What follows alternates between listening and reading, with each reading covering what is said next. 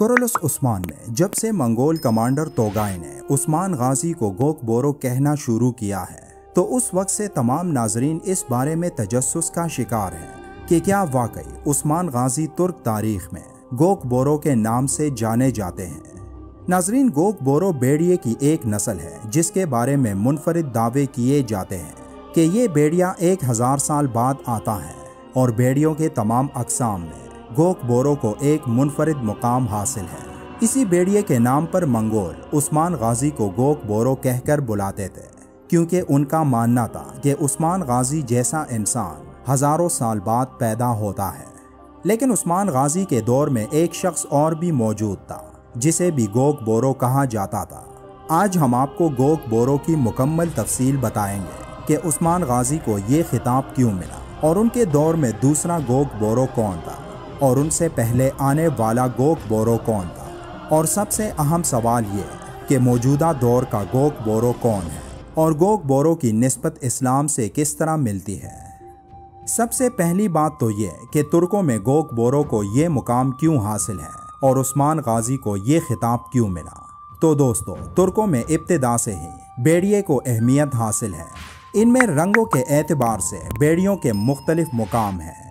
Gawk बोरो, दरअसल दो अल्फाज का मुरक्कब है। गोक और बोरो। गोक का मतलब है नीला या आसमान, जबकि बोरो बेड़िए को कहते हैं, यानी आसमानी बेड़िया। और तुर्कों में नीले रंग को बहुत अहमियत हासिल है। आपको याद होगा कि कुरलस उस्मान की एक किस्त में उस्मान गाजी और बाला खातून को जो लिबास पहनाया गया था, उसका रंग भी नीला था। ये तो हम जानते हैं कि तुर्क लोग बेड़िए को बहुत ज़्यादा अहमियत देते हैं। और इसके काबिल हैरत अंगेज वजूहत हैं। बात यही है कि बेड़िया वो वाहिद जानवर है, जिसमें शर्म और गैरत का मादा बहुत ज़्यादा होता है। और हमारे यहाँ भी बुज़ुर्गों के कौल है कि बेड़िया जानवरों में मोमिन है। लेकिन सवाल फिर वही है कि गोक बोरो क्या है? नाजरीन कदीम गैर मुस्लिमों के अकीदे के मुताबिक गोक बोरो इस दुनिया की रूह है। बेड़िया एक तरफ़ जालिम भी हो सकता है और रहम दिल भी हो सकता है। ये जालिम होते हैं, इसलिए इनसे डरना ज़रूरी है। और तुर्कों के मुताबिक गोक बोरो आसमानी खुदा और तहजीब की अलामत है, जिसका मतलब है अजीम खुदा। दुनिया के कदीम तुर्क सल्तनत और सल्तनत उस्मानिया के झंडे में बेड़िए की तस्वीर नक्श करवाई जाती थी। इसके अलावा ये अलामत उनके कपड़ों, चीज़ों और सरकारी निशानात पर भी होता था। कदीम ज़माने में तुर्क अपने खेमों के सामने बेड़िए का सर लटकाया करते थे। और उसे बलाएँ टालने वाला समझा करते थे। लेकिन याद रहे कि हम तुर्कों के इस्लाम लाने से पहले की बात कर रहे हैं। इस्लाम लाने से कबल तुर्क बेड़िए को मुसीबतों से बचाने वाला खुदा समझा करते थे। मगर इस्लाम कबूल करने के बाद तुर्कों में ये अकीदा तो ख़त्म हो गया। लेकिन बेड़िए से कुछ अकीदत बाकी रही और इन्हीं में गोक बोरो का रिवाज भी उस दिन से कायम है। तुर्कों की कदीम लोक दास्तानों में भी इस बेड़िए का ज़िक्र मिलता है। और कहा जाता है कि ये बेड़िया ओस खान की मदद करता था और उसी की मदद से ओस खान ने दुनिया में अपना तसल्लुत कायम किया था। तुर्कों के मुताबिक, ये बेड़िया जब उनमें नमूदार होता है तो उनके तमाम कबीलों की रहनुमाई करता है, उन्हें मुतहद करता है और उन्हें उनके अलामती निशान भी मुहैया करता है, जैसे काई कबीले का निशान वाई की शक्ल का था।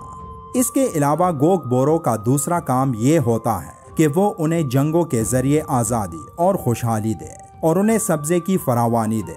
यानी उसके दौर में ज़रात बेहतर हो और जानवर बहुत ज़्यादा हो, ताकि तुर्क उनको शिकार करके अपना गुजारा करे।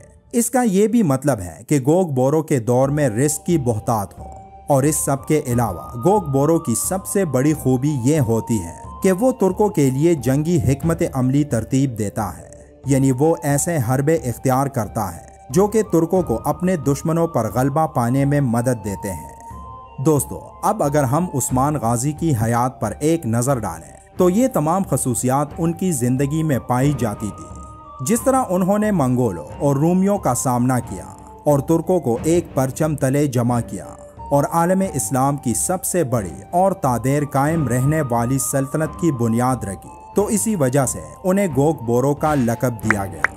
अब अगर हम बात करें उस्मान गाजी के दौर में मौजूद एक और गोक बोरो की तो वो बिल्कुल उस्मान गाजी के वक्त में तो नहीं था, लेकिन उनसे कुछ साल पहले गुजर चुका था। वही जिसने अपनी तलवार की मदद से पूरी दुनिया हिला डाली थी। जी हाँ दोस्तों, हम बात कर रहे हैं चंगेज खान की, क्योंकि उसने मंगोल कबाइल को मुतहद करके एक अजीम सल्तनत तश्कील दी थी। इसलिए मंगोल उसे गोकबो कहते हैं।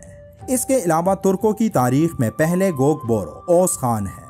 चूँकि उनकी औलाद में से तुर्कों के 24 कबीले निकले और पूरी दुनिया में तुर्कों की सल्तनत फैल गए इसीलिए उन्हें भी गोग बोरो कहा जाता है। अब बात करते हैं कि उस्मान गाजी के बाद आने वाला गोग बोरो कौन है है भी या नहीं। तो दोस्तों, आज के दौर में लिबरल तुर्कों के नज़दीक मुस्तफ़ा कमाल पाशा को ये मुकाम हासिल है। यानी वो उसे गोग बोरो कहने के लायक समझते हैं। जबकि जो तुर्क लिबरल नहीं है, बल्कि सही मानों में मुसलमान है तो उनके नज़दीक अभी तक उस्मान गाजी के बाद कोई गोग बोरो नहीं है। शायद बाद में रजब तैयब उर्दवान को ये खिताब मिल जाए, लेकिन अभी तक ऐसी कोई बात नहीं हुई। अब आखिर में आपको ये भी बताते चले कि गोग बोरो का कॉन्सेप्ट इस्लाम के हज़ार साल बाद आने वाले मुजद से मिलता जुलता है। हम इसे बेहतर तो नहीं कह सकते, क्योंकि तुर्कों में ये रिवाज इस्लाम से कबल का था। हाँ इतनी बात ज़रूर मिलती है कि जैसे तुर्कों का गोक बोरो हज़ार साल बाद आकर कौम की हालत बदलता है। इसी तरह हज़ार साल बाद आने वाला मुजद उम्मत मुस्लिमा की रहनुमाई करता है। यहाँ पर अक्सर नाजरीन को एतराज़ होगा कि मुजद तो हर सदी के बाद आता है। तो इसका जवाब शेख अहमद सरहिंदी की किताब मकतूब इमाम रब्बानी के उस मकतूब से मिल जाता है। जिसके मुताबिक मुजद दो तरह का होता है। एक हर सदी के बाद आता है, जबकि एक मुजद हज़ार साल बाद आता है, और दोनों में बहुत ज़्यादा फ़र्क होता है। तो ये थी आज की वीडियो गोक बोरो के बारे में, जिसके बारे में हमें पहली मरतबा तो गाय की ज़बानी मालूम हुआ, जब उसने उस्मान गाजी को गोक बोरो कहा था।